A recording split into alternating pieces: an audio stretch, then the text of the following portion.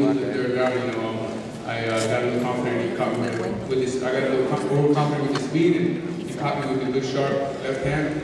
But uh, over the, the entire fight, I believe that it was a chess match. I expected, you know, uh, Manny to be a little more aggressive as he usually is. You know, and we were expecting to catch him with that nice right hand. We were looking for it over and over again. Uh, we caught it a few times. We got stung him a couple times. But um, I mean, he's a very experienced fighter. I give him credit. You know, he's, he's a legend. And um, I hope that everyone here enjoyed the fight.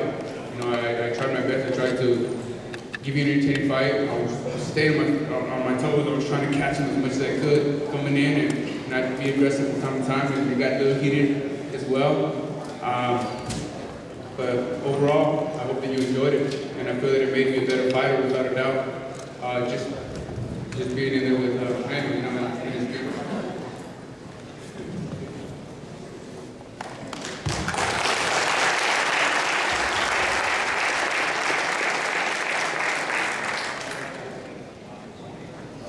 Hello, everyone.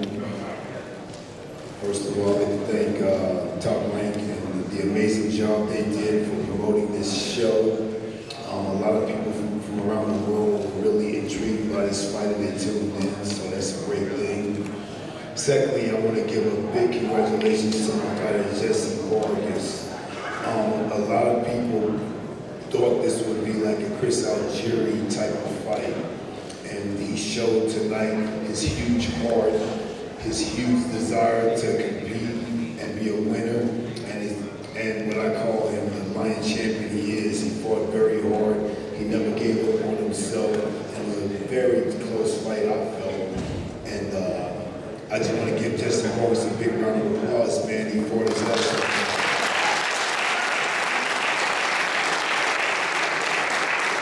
And it I don't want him to have his head down. I don't want him to feel bad or sad. I want him to be proud of his efforts because all you can do is the best you can do. And, and, and that's what it is. I'm, I'm, I'm hurt inside because, you know, I, I try my very best to motivate my fighter.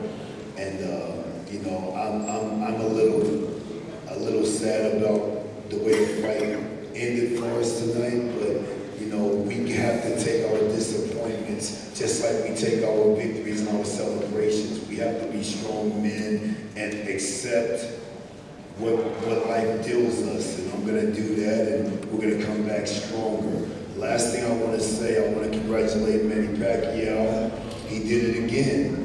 Um, I didn't think he could, but he did it again, so congratulations to him to his training staff, to all of the Philippines, and especially to Freddie Roach. And for the record, I never disrespected Freddie or said anything foul about Freddie. I love them both, and congratulations to Team Pacquiao, Team Legend also.